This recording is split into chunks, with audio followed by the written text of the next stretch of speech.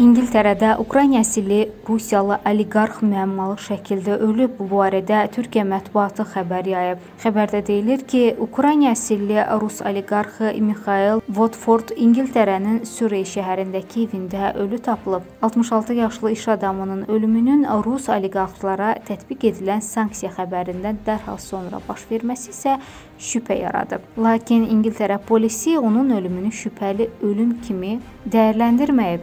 Watfordun ölümü izah edilməz ölüm kimi qeydə alınıb. Bu da oliqarxın qətlə yetirilmədiyini, lakin intihar edə biləcəyi ilə bağlı müzakirələrə səbəb olub. Xatırladaq ki, iş adamı 2000-ci illərdə İngiltərəyə köçüb. Onun adı əvvəllər Mikhail Tolstoyçev olub. O, sərvətini sahib olduğu neft emalı və təbii qaz şirkəti sayəsində qazanıb. İş adamı Ukraynada doğulub. Onun İngiltərədə olan evi ən bahalı evlərdən biri kimi qiymətləndirilir. Dəyəri 18 milyon funt sterlinqdir. Rus oliqarxının adı sanksiya tətbiq edilən oliqarxların siyahısına salınmamışdı.